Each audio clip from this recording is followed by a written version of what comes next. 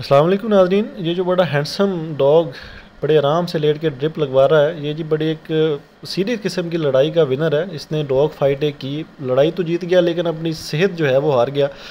लड़ाई के बाद पाँच दिन से जानवर ने कुछ खाया पिया नहीं है और इसके पेचे से जो है वो खून आ रहा है। तो इस केस को आपके साथ डिस्कस करते हैं। आइए।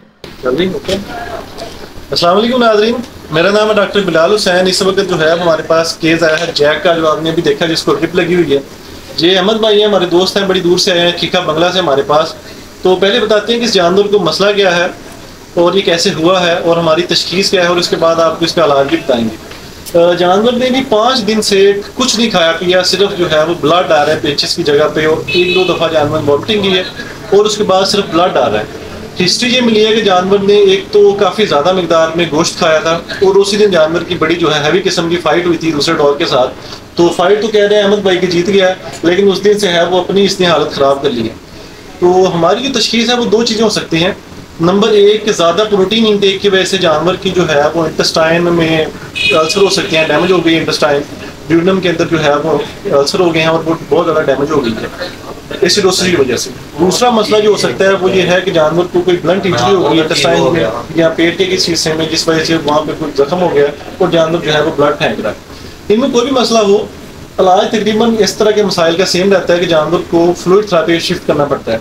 जब भी छोटा जानवर खाना पीना छोड़ जाए तो ये डॉक्टर्स के लिए जो पैरावेट्स हमारे उनके लिए बड़ी अहम बात है कि वो जानवर कुछ खा भी नहीं रहा होता तो मुँह के ज़रिए दवाइयाँ देते रहते हैं और इंजेक्शन लगाते रहते हैं, जो कि बहुत ज़्यादा नुकसान दे सकते हैं।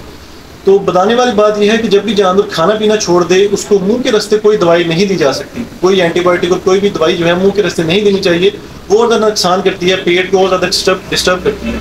तो जानवर को सबसे पहले फ्लूड छापी देनी है, जानवर को पानी की ड्रिप लगानी है। जो जानवर खाना पीना छोड़ जाए, उसको पानी की ड्रिप लगेगी। उसी के अंदर जो है वो क्योंकि ब्लड आ रहा है तो ब्लीडिंग के लिए प्रॉब्लम नहीं लगेगा। इन्फेक्शन है तो इन्फेक्शन के लिए एंटीबायोटिक लगेगा। तो जानवर को क्योंकि टॉक्सन वगैरह अंदर जमा हो गए हैं तो उसके लिए जो है वो लिवर टॉनिक या जेटी पार इस तरह के जो है हम इस्तेमाल करेंगे, ताकि जानवर का जो है वो खून और इंटेस्टाइन में टॉक्सन बना है, वो सारा क्लियर हो जाए।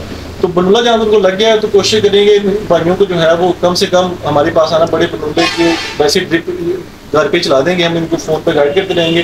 तो तीन चार दिन के बाद इंशाल्लाह जब रिकवर हो जाएगा तो रिकवरी की वीडियो भी आपको दिखाएँगे। अपना बहुत सारा ख्याल रखें गाँव में याद रखें, अल्लाह